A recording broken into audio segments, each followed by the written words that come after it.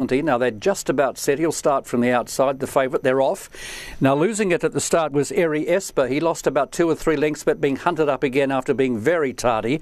And Shira Hatayama is the leader as they go at the end of 100 metres. From Keiai Malibu moving up on the outside. Now moving through strongly is Daishin Quattro to make a line of two. They're followed by Koko Asu 9. Now the grey, the 12, is Kyoei Oviedo, who's travelling nicely. Being hunted along Shira Hatayama. First Further back in the field is Dragon Hole. They're followed by Tamamo Bikkuri, who has had some support, but he's a fair way off them as they go down at the end of 400 metres. Now, the Dali Runner Opera season is out of his ground, and some of these are absolutely tailed off, as you can see on that wide shot. They are hopelessly out of their ground, including Begin Again, who must be 150 metres off the leader. As they come round with 400 metres left to go, and in the straight, Begin Again is the leader. Making a run from well back is Dragon Hole, one of the favourites. But oh, gee, there's about five five lots of seven here as they come in with about 250 metres to go. And Keiai Malibu is the leader, trying hard to bridge the gap as Koko 9. But it's the 9 in front, Keiai Malibu, as they get now home. It's going to hold them all off.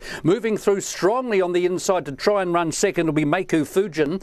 But uh, that was a funny old race. They were in about five groups there. But uh, the winner, as they cross the line, will be Keiai Malibu, number 9, at massive odds.